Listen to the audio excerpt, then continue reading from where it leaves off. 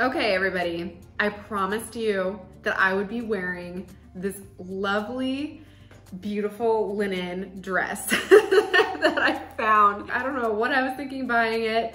I, it, it may be a wardrobe staple or it may be a costume or it may get ripped into shreds and used for other purposes. We will see. I know I look a little bit crazy right now. I can't tell if I like am really digging it or if I look absolutely horrendous.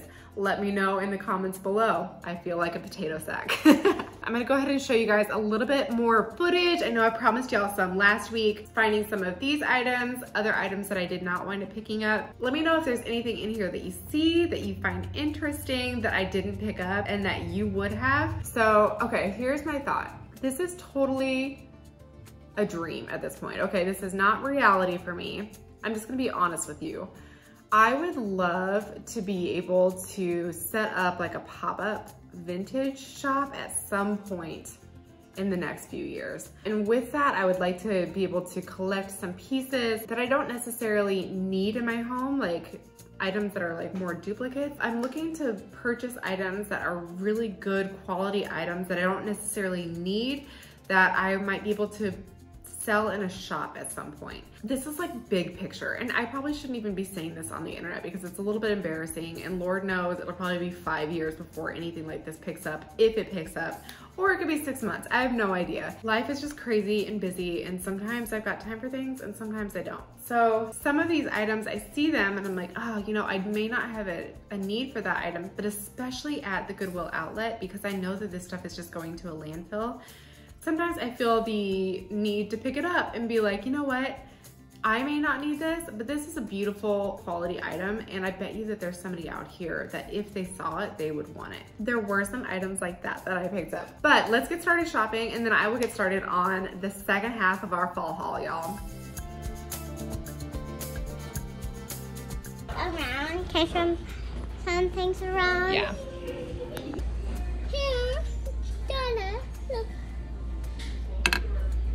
Ooh, that's cool. Let me see. I love it. Tell me about Golden. it. And uh, it comes with this. Ooh, yeah. I really saw that that has something with it. And it goes like that, but I don't know why. Wow. Okay, so I'm gonna start us off with these beautiful bowls. Okay, so these were actually $20 a piece. And so I did leave them behind because I honestly don't have a need for them and they were so pricey, but oh my goodness, I had to show you guys because they were so beautiful. And what is this called? Is this a bean pot? And if so, what do you do with a bean pot? and what is this for? Is this for washing clothes? Somebody let me know in the comments.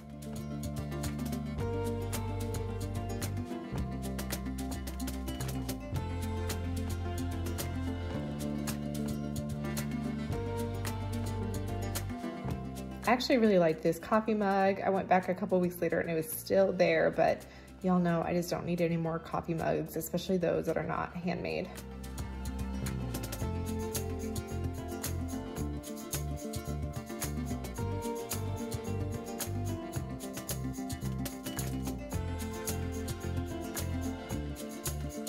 Oh my goodness, I loved this bread box. I probably should have picked it up. I think it was only $5.99 but truthfully, I got a beautiful antique bread box this past summer that's in my kitchen and I will show you guys that when I do my little home tour and this one does not compare. I also loved this little Santa. I'm not huge into stuffed animals or stuffed Santas, but if I was, I would have picked this one.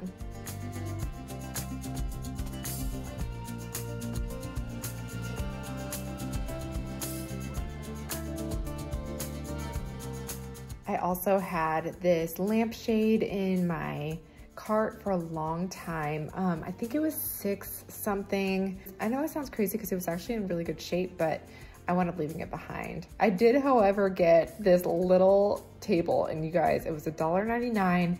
It's in terrible shape, but truthfully, I got it to put between our Cracker Barrel rocking chairs that we have on our front porch. And I wasn't sure if it would be damaged by the elements. And so I just wanted to start off with a $2 table to see how it did out there. I should have picked up this rack. I meant to, I think it was $7.99 but these racks are so much sturdier than the cheapo ones that you can buy at Walmart or Target or Amazon today. And I have another one that's just like it that I use for our garage sale and I love it. These stone pieces should have gotten a little bit more air time, but they were so heavy I could hardly pick them up.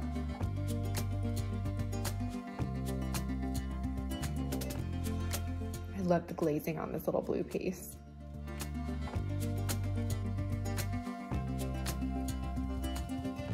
Sorry about the baby toes on this pan. I love the little brass part of this piece, but honestly, I didn't really know what it was for.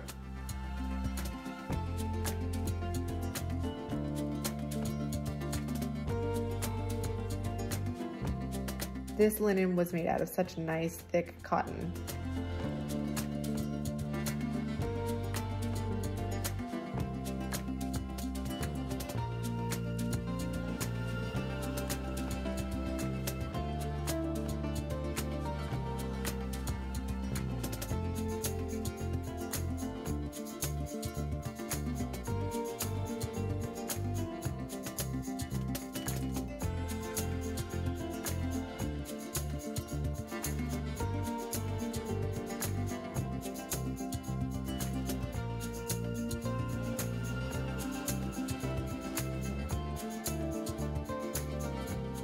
Couldn't believe I found these little brass pieces. Who would leave these behind?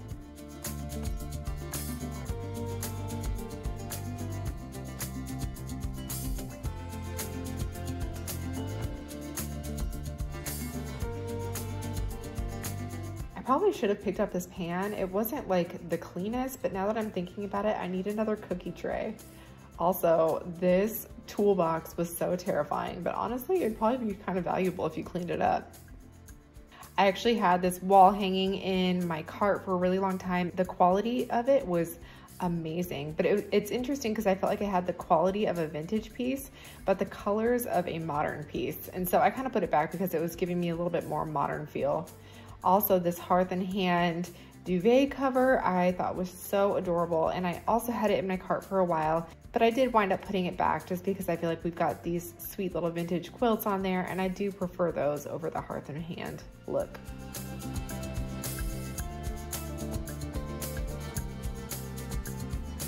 I love these little pottery pieces. That one would have been cool if it didn't have all the rocks in it.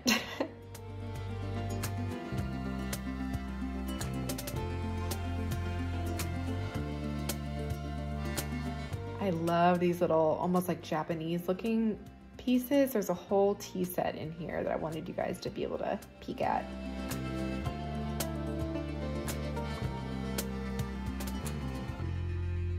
All right, the first item that I picked up, oh my gosh, there's a tiny, there's two tiny little kids on scooters outside of our house. How are those kids even standing up, let alone on scooters? They're so tiny, people. We live in a very sweet neighborhood with lots of little kids. It's awesome. First things first, I found these at the Goodwill. These were $3.99 and they are bookends. So I've actually got another bookend that looks very similar to these. It's not a ship, but it's the same kind of I bet you it's the same company that makes it. They look very similar. And so we've got a big bookshelf in Ivy's room, which is also like our guest room where we keep all of Josh and my books and then all of the kids' books as well. Josh and my books we can keep pretty organized, but the kids' books are an absolute disaster. And so we need things like this to keep things from falling over on themselves all the time. So we found these for $3.99 and I felt like that was a pretty good deal for, for a couple of bookends, you know? Next, I found this cute little box. It's just like a, I don't know what you wanna call it, like a cardboard box, paper box something like this, like an organizational box that you would find at like Hobby Lobby or something. But I just thought it was really cute and classic. I love this pattern. I'm not always crazy about red, but when it's done very subtly like this, I will totally pick it up. It has this nice lid on it. And inside, I found this sweet little linen. I picked this up because the girls have an Ikea table it's like that like classic Ikea kids table that you see everywhere. And it's not bad. I bought it when Rosie was born because it was very neutral. But when Rosie was first born, my style it's just changed since then. Back then I had more of like a mid-century modern slash like 70s feel. And so some of the newer, more modern items, like that kind of Scandinavian look, they fit in nicely with the mid-century modern look. Well, now that we're really going more like traditional, classic, like Victorian farmhouse, I don't necessarily feel like this kind of like Scandinavian modern stuff look as good. And so we're gonna cover it up with a tablecloth. To me, it's the perfect size to be able to cover up that table and just make it look a little bit more cohesive with the look of the whole house. So I'm excited about that and I hope the girls like it. Next, I did find this little, what do you call this? And it's not an egg timer, right? It's like a minute timer. And you know what? We love to play games in our family, especially when like Josh's family is in town and everything. And granted, this doesn't match any of the games that we have. Everything we have is like obviously very new and modern. But I figure if you can have a fun timer piece, then why not have a fun timer piece? Our goal is to just gradually replace all of the new items in our house with old items. And therefore, I, if I can find something like this to replace a cheap little plastic minute timer, then why not? In here, I've been looking for these for such a long time. They're new, old cups like measuring cups. The ones that we have are broken and busted, literally both sets that we have. We've got a set of Hearth and Hand ones that are literally cracked in half. And then we have a set of like cheap plastic Target dollar aisle set that the handles are broken off of them because they're plastic. Well, I loved that these were that copper. They're so pretty. There's a cup, half cup, and a third cup. There's not a fourth cup, but you know, worst case scenario, you can just measure half of a half a cup or a little bit less than a third. Know, in cooking, it doesn't really matter all that much, right? Everything kind of turns out anyway. Next, I found a couple of bottle openers. I probably will wind up keeping this one, I don't even know. Okay, so these were a couple of my questionable things. This, I'm pretty sure, is wrestlers, right? Wrestlers? Somebody let me know if you know what this is. And then this one is like a barking dog. But I'm pretty sure, I know that for a fact that this is a bottle opener. And I think that this is one too, right? You would just put like the bottom of his jaw under the cap of the beer or whatever and just do that right? Anyway, these are both real, like solid brass. And so I did not want to let these go to waste. So I picked these up. I picked up this box. I actually picked it to hold some of the items that I had. And then I forgot that it was in my cart. This was at the Goodwill outlet, so it doesn't weigh that much. It doesn't really matter, but you know, maybe I could use it for something organizational in the bathroom. I found this really pretty wallet there. This is very light, but it's just a nice, pretty leather wallet with a deer. What do you call this? It's not engraved. Is it embossed? What do you call it when you press things into leather? But I just thought it was really pretty. And again, I would just hate to see this go into the landfill. And so I don't know if I necessarily have a need for a wallet, but I would love to see if I can find somebody else out there that would love something like this. I found some hooks. I know that this is nothing special, but for Christmas time and stuff, a lot of times if we're hanging lights and whatnot, I like to be able to have small hooks that you can't see very well up in the ceiling. And so these just look like nice quality and that's it. That's that's why I bought them. All right, my only large item of the day, I did wind up finding this basket.